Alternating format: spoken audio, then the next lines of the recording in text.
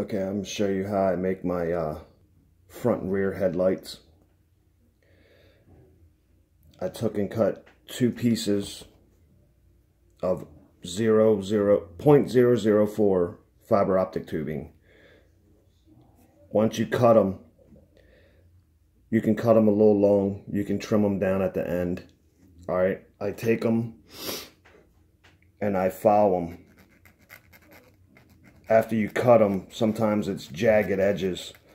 So you got to file them down. When you're filing them down, make sure you don't breathe any of that stuff in from the shavings. Um, it's not good for you. All right. After you got them filed down and they're exactly the same length, all right, take a lighter.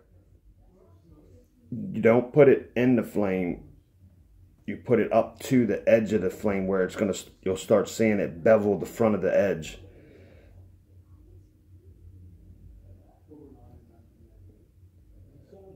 I don't know how good you can see that on camera, but it beveled the front. It almost made it look like a round headlight lens.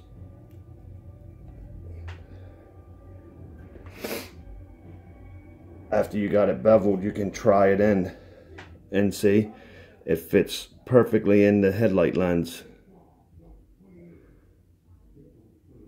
Okay. That's one. Now I gotta put the bevel on the other one. Don't put it in the heat. Just put it up to the heat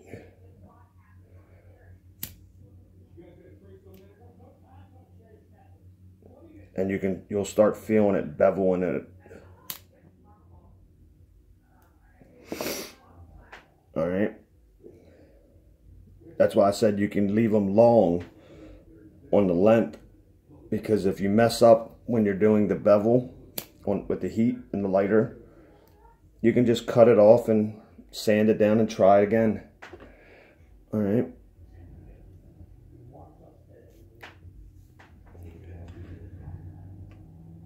let it focus. There's the front fiber optic tubing. And you can see that it it sticks through the shell into the inside. That's how we're going to attach it to the uh, 3 millimeter LED in a minute. All right. That's the fiber optic tubes. All right.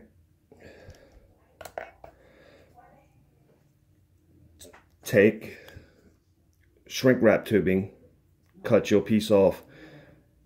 On certain engines, you don't have to be uh, real precise on the length, how you do it. But with this engine, I want to make this uh, LED and fiber optic tubing as short as I can possibly get it because it's not a lot of room in there. I got a speaker right here and I don't want the light to inter interfere with it. All right, here's my uh, three millimeter LEDs. I bought them off eBay. They're bright white. I got a hundred of them for 10 bucks. If you go to a hobby store, you're going to get six of them for 20 bucks. So buy them off of eBay. All right. These ones have a little ridge here at the back. Now, when you go to slide it into your shrink wrap tubing, that ridge is going to cause problems. See, it don't fit in. It won't slide over. You can force it, but you don't want to really have to force it. All right. So you take your metal file and you just grind that edge, that little lip off. And again, make sure you're not breathing this shavings. I heard it is very bad for you to breathe in. All right. So I got the lip sanded down on two sides where it's flat now. And it's still got the round lip on uh, two sides, but the other two sides don't. Now I can test it and it slides, the shrink wrap tubing slides right over real easy. Take it back off. Now we're ready to start putting the LEDs together. You can check other videos if you don't know how to tell the polarity on a LED, the long lead is always the, it's either the cathode or negative. It's the positive. I don't know exactly which one it is. Just the long leads are positive. I snip only one of them off at a time. This uh, little jig right here, I'll show you what it is. It's just a magnetic chip holder clip. You can buy at any dollar store. I got it where it slides under my plywood. Then I got a tweezers that are the kind that squeeze all the time and you got to put pressure to have it to release. All right.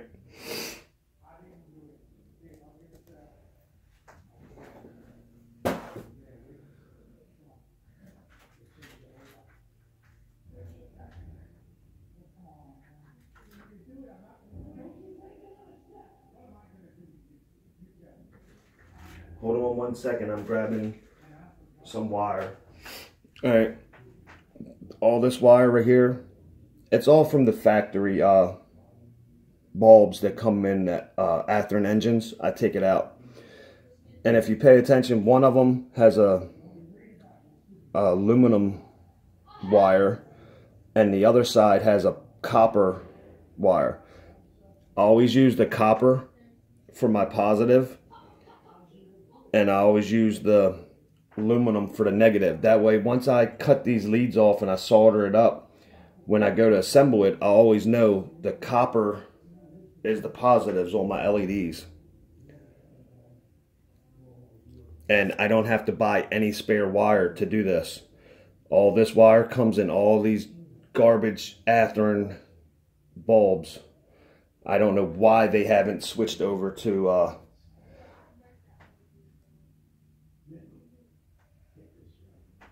LEDs.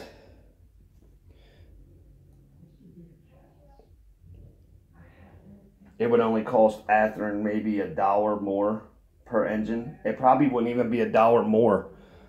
It would probably be close to the uh, exact amount that they, they it cost them to put the engines together now. All right, this is just flux. I got it at Radio Shack before they went out of business.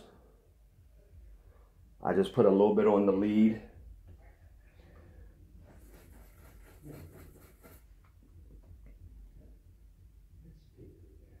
Right now all I'm doing is uh, tinning up all my leads.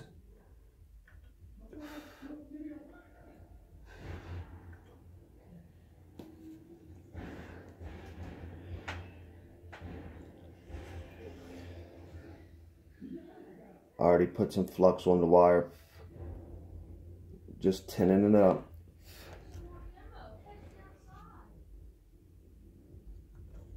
Here's the copper for the positive.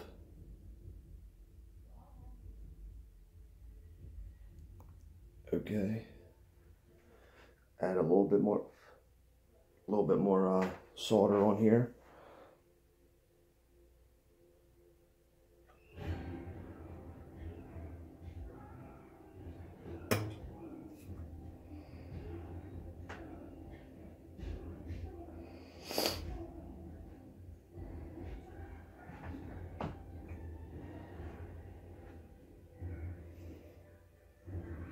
Now I got to go back and snip off the, the negative.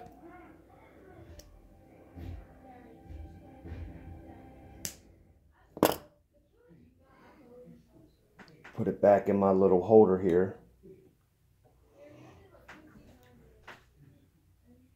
Grab a little bit of flux. Put it on the, the lead remember, you don't need a ton of flux. That flux can corrode depending on what type you have. You just need a dab. All it's going to do is just make that solder stick onto that terminal a lot easier. Alright. Clean my tip because I got some too much flux building up on the end of it from doing all that. Alright, I already tinned this lead.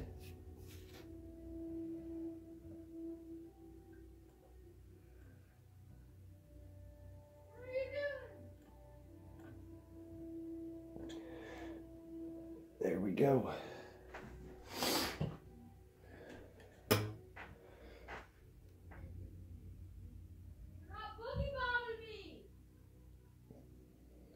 Good to go. That's what it looks like now. Now let me get some uh, smaller shrink wrap tubing. Remember I told you about the size. So you want to cut this shrink wrap tubing as small as you can too, just to cover the ends of that where you just um, where you just solder those leads on. You don't need no long pieces. The longer you put, it's the longer this LED set's going to be.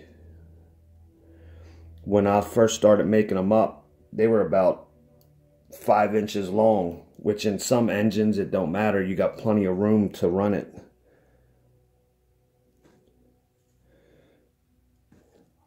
Slide up the shrink wrap tubing. Make sure it's all the way up.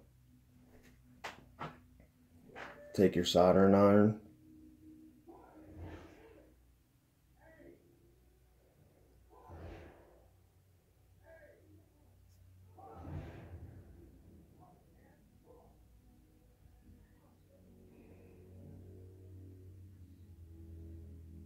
You don't ever want to use the very front part of your uh, soldering tip. What's going to happen from the shrink wrap tubing, it's going to put uh, trash on the front of your tip. And when you go to solder, you're going to be contaminating your solder joints. That's not good. You don't know what it's going to do down the road. It could make it fail. All right.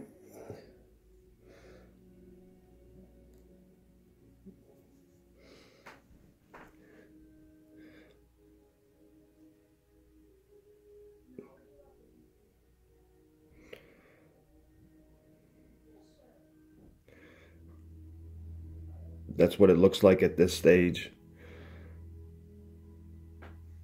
Okay. Now, what I do, why it's like this, I'll take and put a couple twists on the wire. That way it looks like that. It makes it where if you yank on one of the wires, it's less likely to rip it out of the LED.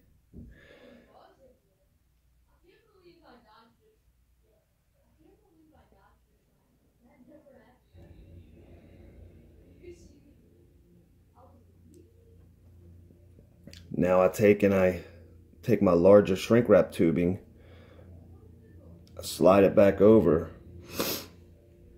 and if you remembered how long we left them, the fiber optic tubing sticking out up in the top, that's about how much room you need to leave on this.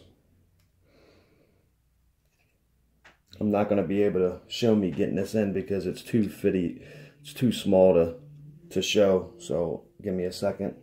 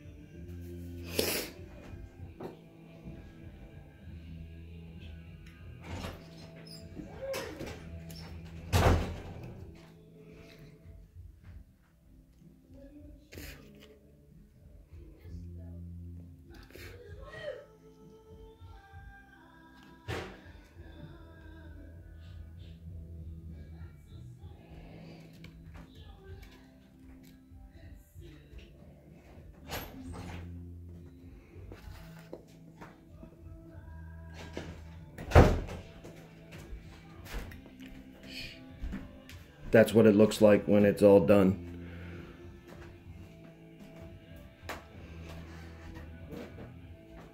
Alright guys, thanks for watching and I'll show you in a little while what it looks like when I'm all done. I got to take the back of the cab apart.